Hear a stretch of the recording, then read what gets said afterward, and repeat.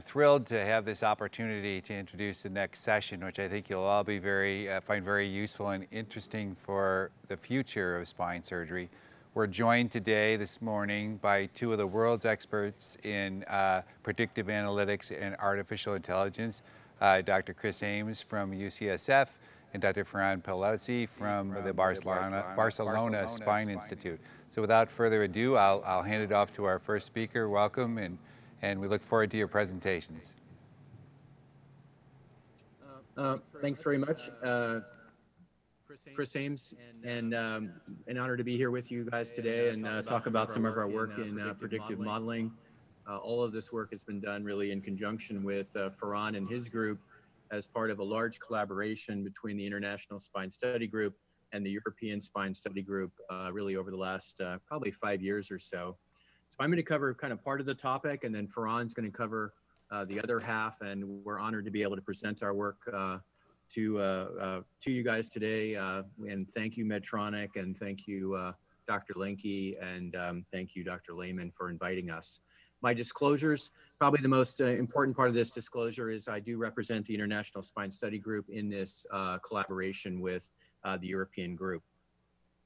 I, would like you to think of this, uh, both talks really, as, as an incentive and a drive to move from uh, shallow medicine to deeper medicine. And I want to set the stage for that by just comparing, and this is from Eric Topol's book uh, about deep medicine, where we were several, you know, 20, 30 years ago and where we are today. So if you look in 1975, we had 4 million healthcare jobs. Now we have 16 million. Health United States. University of California is the number one employer in California. Uh, these are huge, uh, huge industries. Average spending has, has gone up exponentially. And very importantly, the time allocation we can spend with patients for decision making and to decrease uh, heterogeneity in outcome and optimize outcome has gone substantially down uh, over those uh, over that long uh, period of time. Uh, the amount of money we spend on these patients has dramatically increased up to 18% of GDP. Hospital room charges have dramatically uh, increased as well. And now we have different ways of assessing our treatment of these patients and billing with, with the EHRs. It's a mixed bag of collecting more data and spending more money on that whole data collection. Now, how can we improve the care of these patients? Uh, those of us who participated in development meetings with, with industry, Medtronic, and others, uh, it, there's always a drive toward innovating around something you're going to put in the patient. The whole mindset has been around uh, monetizing something that you're going to uh, manufacture and place in a patient. But probably, uh, and I would argue, and probably Ferran as well, over the next uh, decade, we're going to see industry have to monetize more tools that will decrease the heterogeneity in outcome. And that might not be something you put in a patient. It might be something where you plan the case uh, and then maybe you manufacture something that's precise to the patient. If you look at the software development and commercialization with FDA approvals that's gone on over the last decade, uh, it's really been concentrated in histology and pathology as well as radiology, and it's just now making its way to surgery, but it's tremendously increased. And this is up against an aging population, uh, 32 million people in the United States with spinal deformity, and a massive healthcare expenditure of 3.7 trillion. So how do we move from shallow medicine to deep medicine? Well, I would argue that the utilization of these collective panels using heuristic human experience uh, in trying to uh, determine what's going to be the best treatment for patients is still a relatively shallow medicine. We rely on our biases for these patients. It's better than nothing, uh, getting this collective intelligence about what to do, but it's still subject to all the inherent biases that surgeons have, maybe some of the other specialties have about how to treat these patients.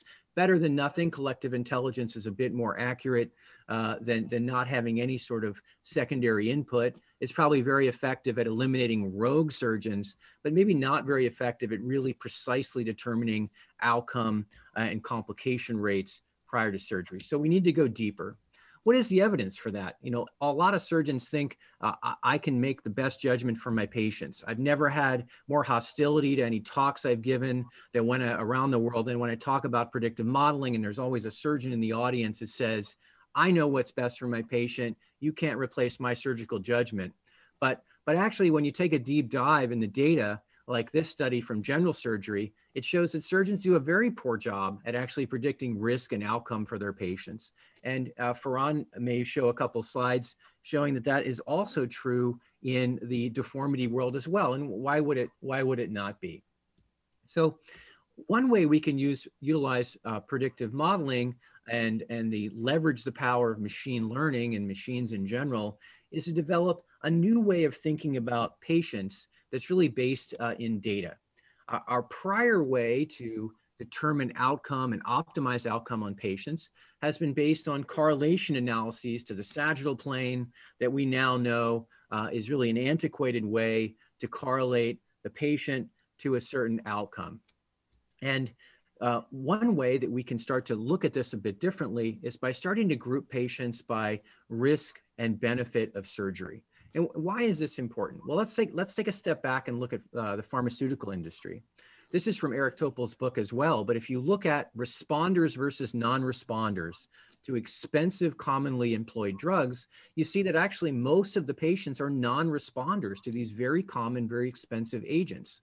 The same is probably true in surgery. Uh, many patients don't get better with operations, as you can see from a, a general graphical representation of our entire database of outcomes. And what if we could direct uh, our resources and our treatments to those subsets of patients that share certain qualities and where they're more likely to have a benefit from our expensive operative interventions. And this is really about moving again from shallow uh, ideas around correlating the sagittal plane to deeper approaches looking at phenotyping, deep learning. And all this, all this is really designed to improve outcomes and give us more time to spend empathic time with the patients and not to replace, uh, not to replace um, our uh, human interaction with other humans. And so uh, the sagittal plane, as I mentioned, is, uh, has relatively poor correlation um, to uh, outcomes, especially at two-year follow-up. So we need a different way of doing this. So one way is the approach on the left. And this is kind of a modern surgeon's approach to looking at these patients. The surgeon's good and is up to date on the recent literature. He's giving them a frailty score, which is again kind of a bigger data approach to the patients, which we published a few years ago. He's giving them a comorbidity index. He's giving them a, a, a bone mineral density. And he's also radiographically measuring uh, the sagittal plane um, as well. But on the right, is, is something unparalleled in the way that humans can look at patients. Essentially, this is the way the computer would see the same patient based upon 100 variables immediately in real time. And this is a representation of our whole database. The computer can say, this is you, surrounded by your nearest neighbors, similar patients, similar ages, similar comorbidities, similar deformities. And in real time, can pull up those patients and we can say, this is how your, these patients did. These are the mistakes that we made. These were the outcomes of these patients. Not only what we did, but what like Ferran did in Barcelona or Ibrahim Obeid did in, in Bordeaux. We can look immediately around the world. Uh, and this is something that's not possible, you know, for humans to do. So moving from a shallow classification based on weak correlations to the coronal plane, AI has allowed us to build a new adult deformity classification based upon unsupervised learning and clustering pattern recognition, essentially, that immediately in real time gives us a risk versus benefit of surgery. And that is what I think patients and physicians really want at the point of care. They want to take a, a 30,000 foot view initially, pull up similar patients, look at how they did, and then place a patient on this type of graph and say, if you have this type of surgery, patients like yourself did this well. This is what they experienced, how they recovered across all these different domains of outcome assessment. So I think this is a better way, a deeper way to look at uh, deformity classification. Now, what else does this give us? And I just have one slide on this, but as was pointed out to us by our chief AI scientist, Mikel Serra, this allows you to cluster patients by effect size. And what that does is rather than rather than doing a 700 patient clinical trial on patients that are very different with lower effect sizes, you can have just as much statistical power by concentrating a randomized trial within a cluster. And this is going to be the future, I think, of clinical trials benefiting from AI to cluster patients. Now, what is kind of the, the future area for this? Well, one of the things we realize is we don't have enough information. There's some things that we know we don't know, like genetics and, and muscular assessments uh, about patients, but there are probably going to be things in the future, such as SNP analysis and other aspects of serological and genetic analysis that may be impacting patients uh, that we need to include in our databases. And this is subject of current work. One of the things we're doing at UCSF is looking specifically at aging. We're looking at telomere length uh, and correlating that to risk of complication. This is a collaboration that we have with Elizabeth Blackburn, uh, who won the Nobel Prize for telomere identification. And we saw that telomere length correlates more to risk of uh, major complication than chronological age. And this is something we're submitting uh, this year to the SRS. We need to also datafy the bone. Think of all the fusion operations that we're doing, but we're not tailoring a fusion cocktail with osteoinductive agents, osteoconductive agents, mineralization agents, densification agents. We're not tailoring this specifically to the patient. We're just giving everyone the same cocktail. And as I'll show you in the end of the talk, when we talk about custom realignment planning with custom rods, it's very similar to where this is going to go in the future, where we're going to have customized uh, bone cocktails for patients that can optimize their fusion. So we prevent what we're showing you here, which is a pseudoarthrosis. This is very common complication of this type of surgery. So what we're trying to do here is a, at UCSF is a big serological and bone biopsy study of fusion rates utilizing big data. One of the other ways that our work has really impacted, uh, I think, uh, in real time, the way we think about treating these patients is that, as Ferran's going to show you, a lot of the variability in complication rates, especially, is due to variability in the patient. And about a third of that variability is potentially optimizable. So, just like social media companies want to better predict what you're going to click on by polarizing you, and we're going through this right right now in the country, right? We can better predict how someone's going to do with surgery by polarizing them, essentially making them a more homogeneous population that is better optimized for surgery through physical therapy, pain management optimization, bone mineral, mineral density optimization, smoking cessation, et cetera. And this is a study that we just started at UCSF a few weeks ago, looking at trying to make everyone more homogeneous and more optimized for surgery through extensive prehabilitation. And this is something that came directly out of our AI work. Finally, some other implications of this work has to do with resource utilization. I don't care what you say about the United States, we're going to enter healthcare rationing. It's already come to the European countries. We have limited budgets. And uh, this is a study that was on the podium at NASS and at SRS this year, uh, headed up by uh, Rushi Joshi and Miguel Serra, showing that if you use uh, the power of predictive modeling prior to spending money on interventions, you can essentially set filters of what you want to say is your complication tolerance, what you want to say is your outcome expectation within a, a, first world or second world economy and spend your money on those patients that are most likely to have a significant benefit. So you set a MCID filter, you set a complication filter, and then that's going to show you how much money you can save in your economy by directing those ASD resources to the patients that are most likely to have that sort of pattern of risk and improvement. In the United States, this, this, approach would be estimated based on our simulation to save about $500 million in ineffective uh, surgery that doesn't boost um, the improvement of patients uh, over time. And this can also have an impact on benchmarking. It's another way to think about uh, utilizing predictive modeling rather than taking a very shallow medicine approach and trying to equilibrate large academic centers who treat very complicated patients to centers that treat uh, private patients and do potentially simpler surgery. Look at PJF as a model for that. Uh, if you look at the variability in the International Spine Study Group in our PJF rates, it looks like you're like, geez, wow, some of these sites are really underperformers. Some are significant overperformers doing a great job. Some sites are way out in their PJF rates. So if you draw just an average across there, you think, well, that's how we did it in the past. That's how they do it on these websites. Um, but really, some of these sites are treating probably patients that are more deformed, that are more frail, and doing bigger operations. A better way to do that is to generate a model that would actually predict what their rate of PJF should be based upon their patient population and their operations. And you can see, interestingly, some sites that seemed like they were doing a great job based on average were actually underperformers based on predictive modeling. And some of the sites that had high rates actually were not, were actually doing a pretty good job given their patient population.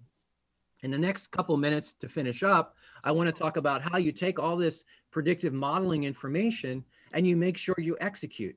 Because the best laid plan doesn't matter unless you make sure that at surgery you're going to accomplish the goal that your predictive modeling said that you should accomplish.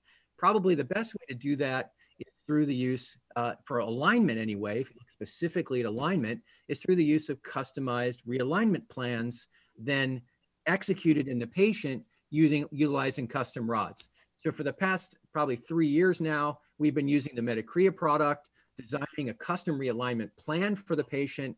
After we run all the predictive models about risk and outcome, we then utilize the uh, Medicrea plans based on AI around reciprocal changes to make sure we execute that plan at the time of surgery. Here's a patient we wanted to leave about five to 10 degrees head down so he could walk downstairs. And essentially, we drop our rod in at the end of our uh, correction, and we know this patient's going to have the perfect chin brow vertical angle that we want for his realignment. Why do we need this? You know, surgeons say, oh, um, uh, it used to be that your prowess as a deformity surgeon was really uh, how good a rod bender you were. I mean, I, I remember hearing some very prominent surgeons brag about their rod bending capability. But if you look at it, this is a very serious aspect of the surgery. The best laid plan doesn't work unless you realign the patient adequately. So if you just do a 16 degree variation in your bend, you can place the patient at uh, nine degrees positive, which is probably going to be unacceptable. And, uh, and a 16 degree variance can make the patient properly corrected. So I don't know about you. I don't feel like I can properly bend 16 degrees uh, at 5-1. Also, if you overbend the rod by 10 degrees, you can make that patient negative by 2.3 centimeters, which potentially is something even worse I've found in my, in my population. These age adjustment alignment goals, especially around overcorrection, like I just showed you, can have significant impacts on failure rates in PJK. Again, trying to make sure we have a, a best laid plan that we execute at surgery. And if you actually look at the data about how surgeons bend rods, this was a great study Justin Smith presented at Eurospine this year, where we asked surgeons to bend rods to a specific angle, and then we measured how they did. Well, despite what they would tell you about their rod bending prowess, turned out that they did a terrible job. they average average overbent the rod by 19 degrees without a template and as I showed you in the prior examples, that 19 degree over or under bend can substantially malalign the patient. So if you have AI on the front end, you have to make sure you have execution at the time of surgery to make sure that your plan uh, reaches your goal. And this just shows you how people were all over the place. The whole idea of AI is trying to make the outcomes and execution more homogeneous and less variable in these operations that cost over $100,000. With a template, though, very similar to a custom rod, surgeons did a good job. So without the rod, they had a variance of about 18 degrees. If you look at historical data on realignment, again, overall, not just rods, but surgeons did a bad job. 55% SVA corrected, only 25% pelvic tilt correction. Um, and when, when this technology is adopted around the world, look at the power uh, of AI as manifested through now the new technology of precision rods. Within five years, developing software around reciprocal change prediction has really populated itself around the world. And I think the same is going to happen with calculators um, and with potentially other augmenting technologies like virtual reality, robotics, uh, and precision medicine around risk and outcome calculation. The hub contains now about a data set of 6,000 patients that they use to generate and improve these machine learning algorithms for realignment. We look briefly at the UCSF data, 372 deformity cases. Here's a typical example of that, utilizing the template to determine when we've realigned our patient uh, appropriately. And you can see the template drawn on the x-ray looks exactly like the rod put in the patient, even with a PSO and a four rod construct. The average error in these patients is six degrees uh, PILL, eight degrees thoracic kyphosis, three degrees of pelvic tilt, and SVA of three centimeters.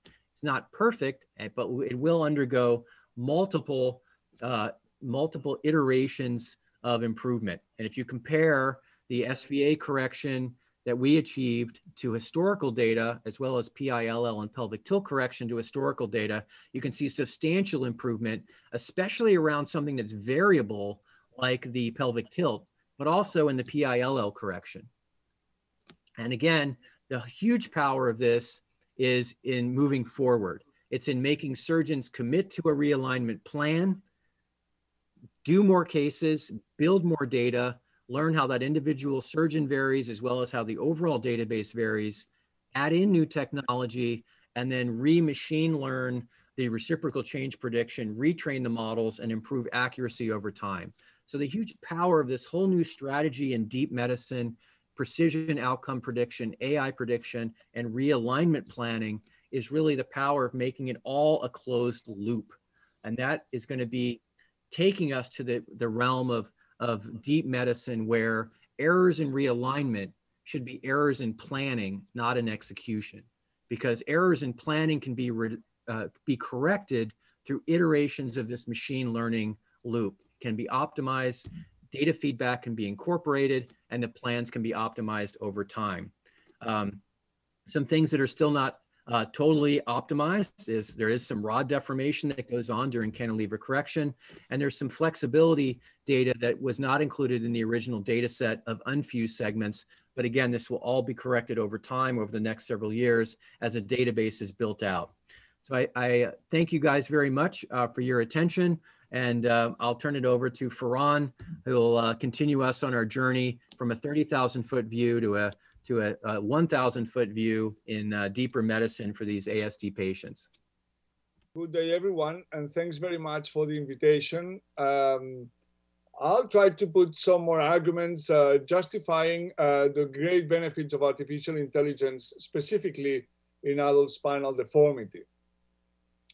Well, you know, uh, there are some pathologies, and one of them is AIS, that generally speaking, they are quite homogeneous and where you have normally a great consensus among specialists regarding treatment, and you can have very predictable results.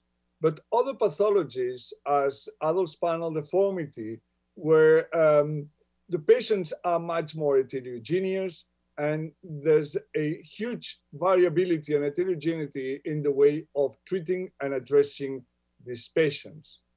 There's another uh, input, another important thing related to the patients with adult spinal deformity, which is the uh, great impact of the deformity in their quality of life. So you have uh, heterogeneity of patients, different ways to treat it, and a huge impact in quality of life in patients who do not improve, generally speaking, with non-operative treatment.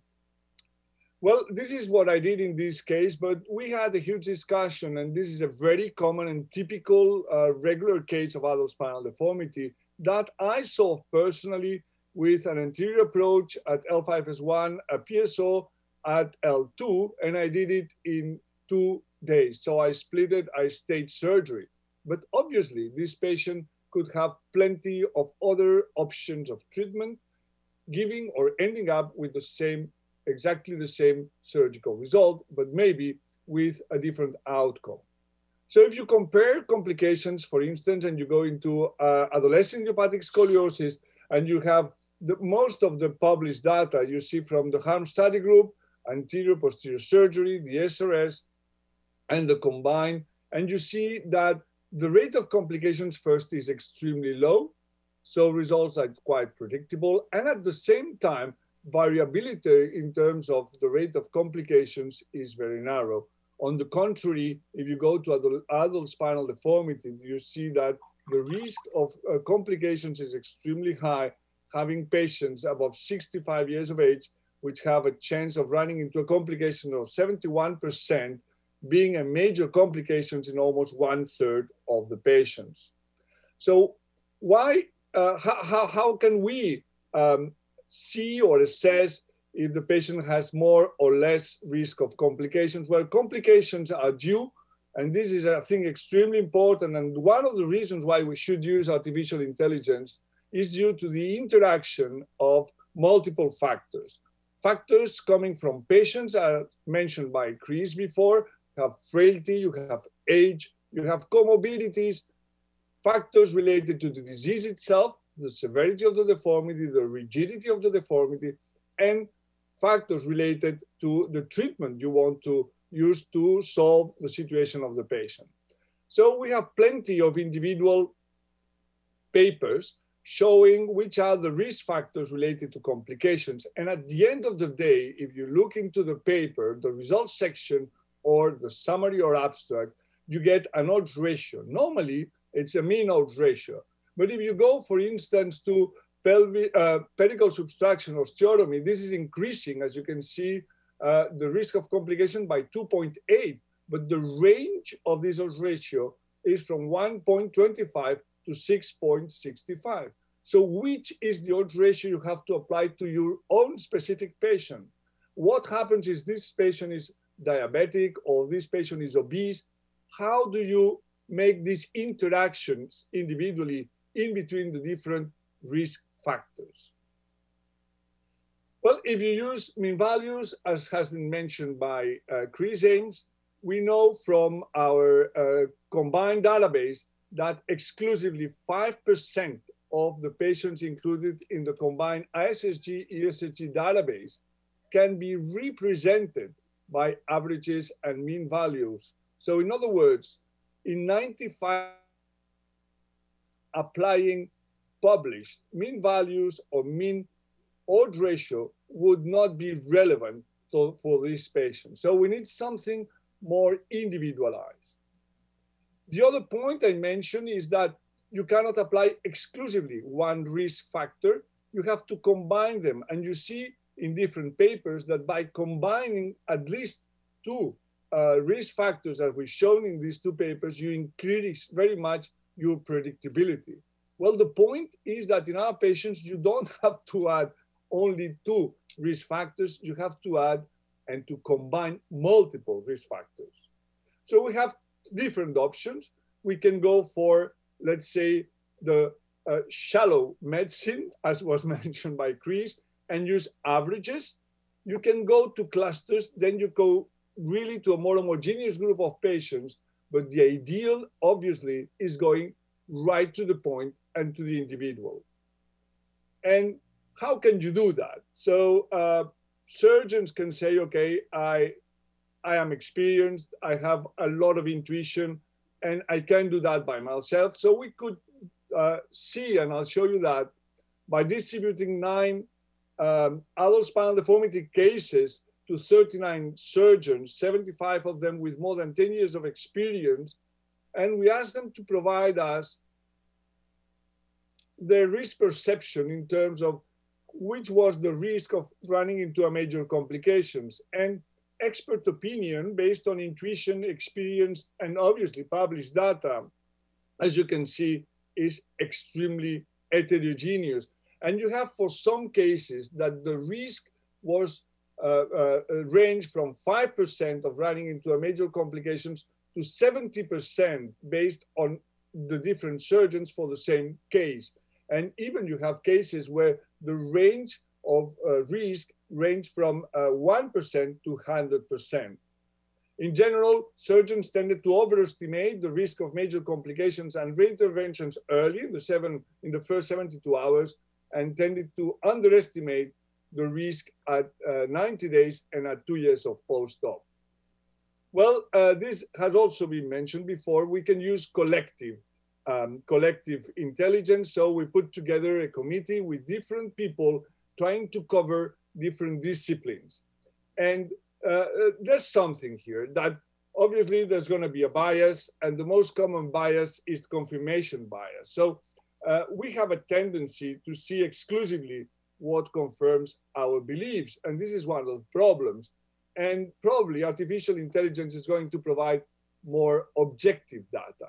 But there's even more. I think that it's difficult to create a committee combining all the needed disciplines and combining all the risk factors that can um, uh, influence and predict the risk of complications and outcomes. In fact, what we get with artificial intelligence is that we get a prediction which is not based on assumption, assumptions. It detects automatically which is the variable interactions and it hierarchizes the variables so it can tell you which one is the, the one having most weight, which one is potentially uh, modifiable, and therefore you can adjust the time and the type of treatment you can do. This is what you get when you use mean values. You have a mean curve or risk of major complication and a mean curve telling you which is the mean risk of reintervention and reoperation.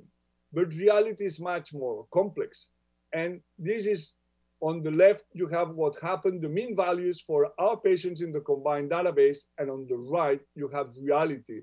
So the risk of major complications, for instances, in our database range from 4% to 74%. So what artificial intelligence is going to allow you is to provide the individual risk curve for each patient, combining all the risk parameters that have been captured by the database. This is an important issue, I'll go back to that later. But this is an example, and based on the calculators for risk uh, of major complications that were published last year, and on outcome prediction, also published last year. So we put all the data we have. So for that, you need an extensive uh, database, and you have patient data, disease data, and treatment data the engine works and provides you individual curves for risk and uh, health-related quality of life gain. And these curves can be used to provide the risk at 72 hours or 48 hours. This is allowing you to select which are the patients going or needing an ICU, which is the risk of 90 days complication, one years or two years, and even reintervention. So this is providing you the full uh, risk prediction. And at the same time, it provides you the other dimension. So it's extremely difficult for a committee to provide these two dimensions, complications and health-related quality of life gain. And we've seen, I've shown by the clusters and CRIS, that some patients have huge chances of improving quality of life, even if they have high risk of complications. But maybe these are scenarios that we should go for because the advantage or the gain in quality of life justifies complications. It's difficult to get that information from a committee.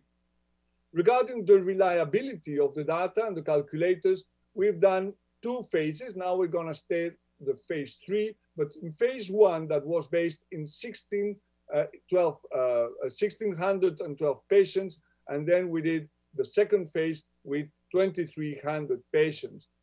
Uh, we have two models. We have the model that can predict what's going to happen before surgery, and then you have the model which is uh, in red that predicts you what's going to happen once you close the skin. So you know what happened in surgery. And you have on the horizontal axis the prediction that is provided by the calculators uh, by, by the by the real re, the by the calculators and on the vertical y-axis you have what really happened so you see that it's quite predictable quite reliable and reliability measured with the c index is approximately between 70 and 75 percent the calculators because we have more data are almost 80 percent accurate when you go early so early predictions the calculators are much better and they are less accurate for two years and three years follow-up prediction, probably because of loss of follow-up. Importantly, you can add another variable, you can add the cost. So you can add different values and different variables of prediction, which is even more difficult for a committee to give, provide these answers. So these uh, calculators are now, I would say, uh, being spreadly used in all specialties, and they are already uh, uh active in spine. Adult spinal deformity, as we've shown for ISSG and ESSG, but you have here the spine lumbar fusion outcomes calculator, which has been uh, recently published, or you have the one which uh, is coming out from the sport trial, which was published two years ago. And more recently, a few weeks or days ago, you had another calculator and see here the predict the C value, which is a little bit lower than ours, but it's they are all more more mm, most of them they are around 75 or just below 75% prediction for cervical myelopathy. Other specialties, general surgery has been mentioned, and cardiovascular surgery has also been um, shown to be extremely uh, uh, useful to use predictive analytics to decide which is the best strategy for each patient having cardiovascular diseases. One point which I think is extremely important and is solving one of the most relevant misunderstandings in artificial intelligence. And this slide here showing that what is really relevant is not the number of patients included in the database to get a good prediction. Here you have a database with almost 30, 35,000 patients, and you see that the predictions are really low with an R square below 20%. So it's not the amount or the number of patients uh, in the database, which is nourishing the uh, calculators, what is important. The important thing is the quality of the data. So what's coming and what's already there? So we know that tissue is absolutely important. Biomarkers, sarcopenia biomarkers are relevant to predict complication. We know that uh, real-time health measures can be extremely important. Sleeping hours, activity, behavior, all these data is already being collected and all this data has shown to have an impact in complications. It's difficult to see that all this data can be combined by human minds in committee or by single experts. And for that, it's clear that what's coming is going to be artificial intelligence.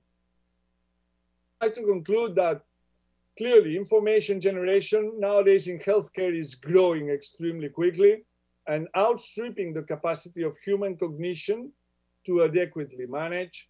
Computer technologies can assimilate big data sets and make sense of the complex relationship between variables in a flexible, trainable manner. And while it's not a substitute for clinical experience, computerized technologies clearly provide objective data about individual risk and avoid common biases, which are normally observed in clinical decision making. I think that the key premise of developing this C technology is clearly to augment what we are doing now based on human performance. I would like to thank all my co-authors and uh, contributors, uh, especially uh, members of the ISSG and ESSG, and thank you for your attention. Thank you very much.